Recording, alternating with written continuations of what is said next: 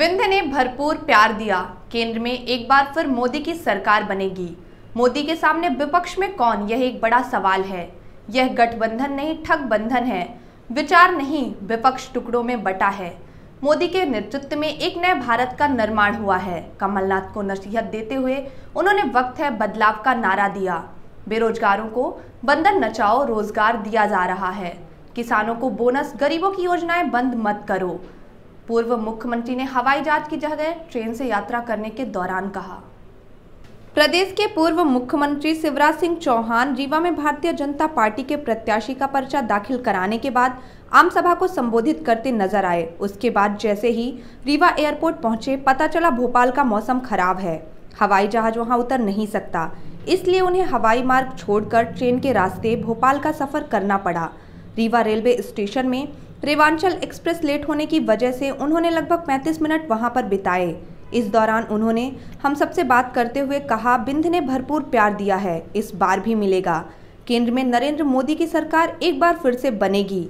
मोदी का कोई मुकाबला नहीं है। विपक्ष के सामने सबसे बड़ा सवाल है, मोदी के सामने कौन यूपीए गठबंधन पर? उन्होंने चुटकी लेते हुए कहा, यह गठबंधन नहीं ठग बंधन है। ना दल मिलते हैं, ना विचार। विपक्ष टुकड़ों में बटा हुआ है। प्रधानमंत्री नरेंद्र मोदी के नेतृत्व में एक नए भारत का निर्माण हुआ है। प्रदेश की कमलनाथ सरकार को नसीहत देते हुए उन्होंने कहा, कांग्रेस ने नारा दिया था, वक्त है बदलाव का। सोचा था बदलाव होगा। किसानों के कर्ज माफ़ होंगे, बेरोजगारों को रोज़गार मिलेगा। किसानों को उनकी फ़सल का उचित मूल्य मिलेगा। लेकिन यहाँ प्रदेश के मुख्यमंत्री बंदन नाथ जैसे काम बेरोजगारों को दे रहे हैं।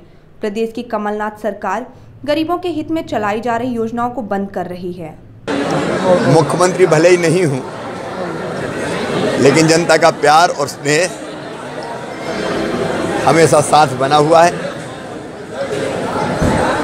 लोकसभा के चुनाव में फिर से भारतीय जनता पार्टी की सरकार बने और मोदी जी फिर भारत के प्रधानमंत्री बने। एक लहर विंध्य में भी है, मध्य प्रदेश में भी है। बीजेपी और कांग्रेस और बाकी दलों का कोई मुकाबला नहीं है। गठबंधन कोई दिलों का गठबंधन नहीं है, ठगबंधन है। जनता को ठगने के लिए एक होने की कोशिश करते हैं।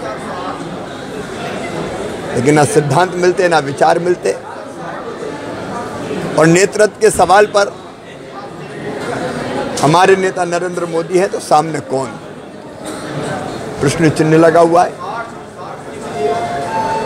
कई खानों में बटा हुआ प्रतिपक्ष मोदी जी का मुकाबला नहीं कर सकता। एक नए भारत का उदय मोदी जी के नेतृत्व में हुआ है। वैभवशाली, गौरवशाली, संपन्न, समृद्ध और शक्तिशाली भारत।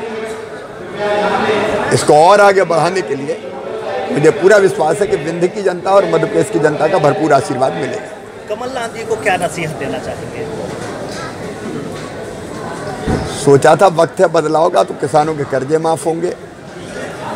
यहाँ राहुल बाबा कह गए थे, चित्रकूट में मोबाइल की फैक्ट्री खुलवाएँगे, नौजवानों को रोज़गार देंगे।